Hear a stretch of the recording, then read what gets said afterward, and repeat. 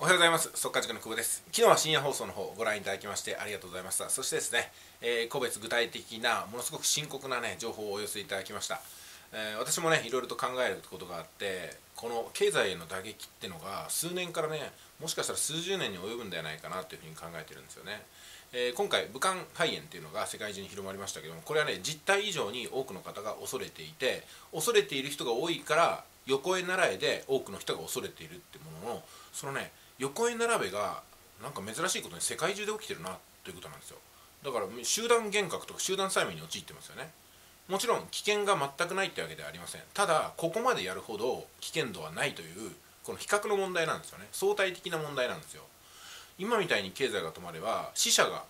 ウイルス以上に増えますね。もうすでにお亡くなりになった方がいるそうですけどもこのウイルスではなくてね、うん、そう考えると企業活動の停滞っていうのは本当に手痛いダメージを子々孫々にまで残すなと思います。特に、え、ニューヨーク先物とかそれから日経平均もねこちらも異常な数値を出してますよね。でドル円の相場ももうガタ落ちです。すべての数字がおかしくなっています。でも私たち国民経済にはすぐには影響が出てこない部分もあるんですよね。それはですね日経平均が2万3000円になったからといってじゃあ直接豊かになった国民がどのぐらいいるかなと思ったらあんまり関係なかったでしょ。で今回日経平均が暴落したからといってじゃあ急に会社が潰れたりとか急に給料が減ったりってこともないわけなんですよね。つまり金融ってものとそれから実体経済っていうのがいつの間にかすごく離れちゃったんですよ。本当でしたら株価っていうのは我々の生活とか企業の実態を表すものであるはずなのにいつの間にか金融だけがバブルになっていて実体経済の数十倍の数字を示すようになっちゃったんですよね。要するに金融というゲームと私たちの経済市場っていうのが随分乖離があるんですよ。ただこのダメージっていうのは着実にきます。例えばね分かりやすく言うと今中国をはじめとして多くの企業とかあイベントがね中止されてますよね。飛行機も飛ばなくなりました。要するに原油が使われなくなったんですよ。原油が使われなくなる。売れなくなれば当然価格下がりますよね。で下がったじゃないですか。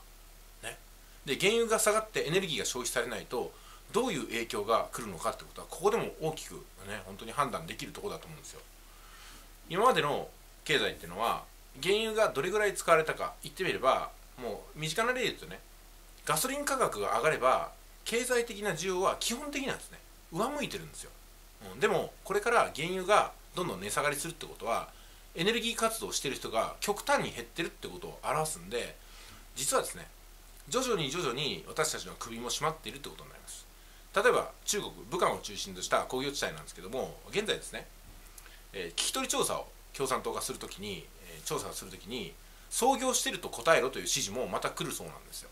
そしてですね実態調査をするときにわざとその時だけ工場の電気をつけて検査員に丸をつけさせて帰った後にまた操業を元通りね止めるという形で架空操業が結構起きてるんですよね。そういうことを考えると実態に復活してる回復してる業種っていうのは50%に満たない。30%ぐらいしかまだ操業をね開始してないってこともありますしそれから仕事がない状態で市民の暮らしってどうなるかっていうとまあ家にいるわけですよね。仕事してないですよね。収入ないんですよ。でもランニングコストがかかるんですよ。プラス食品の価格は現在2ヶ月前の4倍から5倍に跳ね上がってます。しかも質のいいものではありません。配給制度です。グループ購入です。そうなるともうね出てきてるんですよ。行き詰まった人があと食料が23日しかないとか。もうすでに赤ちゃんのミルクもない。私たちの食べる夕食がない。ということで手をつないで飛び降りる例っていうのがね今出てきてるんですよね。でこれは自殺であり事故死であるという処理がされますけども間接的に見て武漢ショックでお亡くなりになった方とカウントできないこともないんですよね、まあ、こういうとこ考えるとすでにですね私たちが恩恵を受けていた中国仕入れ先ですよね。取引先の中国でこういう問題が起きてるということは時間差をつけて当然ですけども輸入が滞って物資が入ってこなくなるこの輸入大国日本にも似たようなことが起きてくるってことなんですよ。まずは物資が少なくなり日本人同士での取り合いが起きます。トイレットペーパーやマスクと似たようなことが食品で起きてくるってことになります。そうなった時に誰から順番にその物資を取るかというとまずはキャッシュがある人からですよね。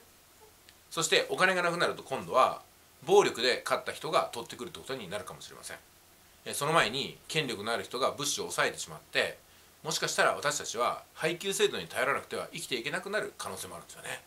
まあ、そういうことをいろいろと考えてくると非常に話が暗くなるんですけどもこういう中でもね最善を尽くして我々市民の力市民が団結することによってこの危険な状態を脱出することができるという希望もあります。具体的に何をすればいいのか全く分かりません。方法がもしかしたらないのかもしれません。ただ私たちがもう諦めてしまえば本当にその通りになります。諦めずに模索することだけが次の第一歩を手繰り寄せることができるんではないかなというふうに、えー、私の結論付けましてね今回の放送を終わらせていただきます。それでは一旦失礼します。